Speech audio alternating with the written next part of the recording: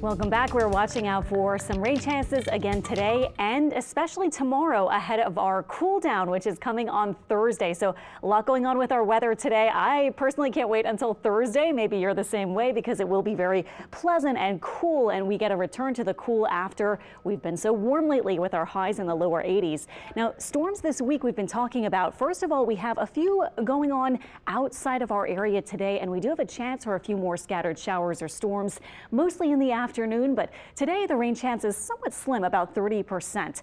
Tomorrow afternoon, some scattered rain, and then evening might be the bulk of the rain for some scattered showers and storms. And tomorrow is the day that we're looking for the severe risk. There will be a low end chance for a few isolated strong to severe storms. And when we talk about the slight risk, remember that's level two out of five. I'll show you in a second. Slight risk and the ingredients or the, the threats would be high winds, possibly some large hail or an isolated tornado. And also just looking at rain totals, that could be anywhere from about a quarter quarter inch. That would probably be closer to the coast, up to maybe one or two inches. So active weather pattern for the next maybe 36 hours or so, and then we get to breathe a sigh of relief and enjoy some cooler weather as we get into Thursday.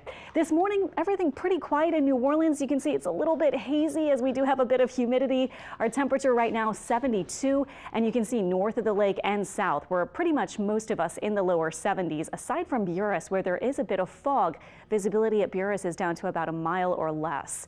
Winds are from the south. No surprise, it has been getting more humid and we have been looking at the moisture fueling showers and storms like we saw last night. Now, not a lot of rain yesterday kind of throughout the day, but of course we did have that downpour bringing a quick inch plus of rain to parts of south uh, coastal areas and then New Orleans. This morning we have a little rain way outside of our area north of Baton Rouge and that's along a stationary front and we will see whether that tracks into our area or not. For now, I think it will probably stay to the north and we may even see a more northward motion with the rain in general today. And just looking at, by the way, our severe risk for today, we are looking at a marginal risk to our north. We in Louisiana and coastal Mississippi are actually not included in the severe risk today, but if you go north toward Jackson or northern Louisiana, and then especially out toward Texas, there is a severe risk.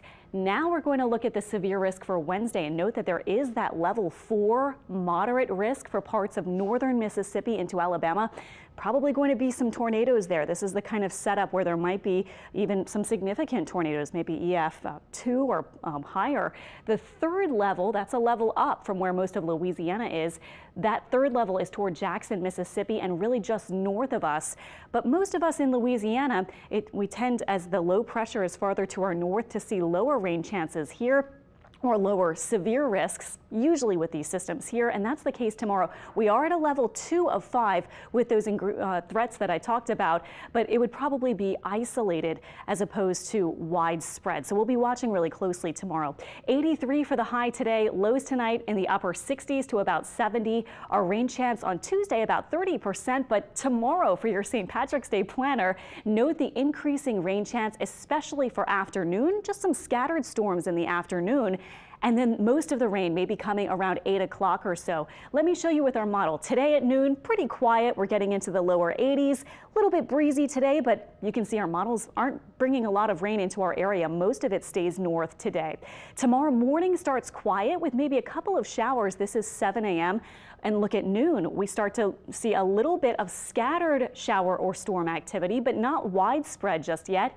Here's the bulk of the rain by about 8 p.m. or so tomorrow. Exact timing could change, and then the rain will be mostly gone by about maybe even midnight or 1 a.m. Wednesday night into Thursday. Then it gets beautiful, sunny, breezy, cooler on Thursday, and nice weather continues into the weekend.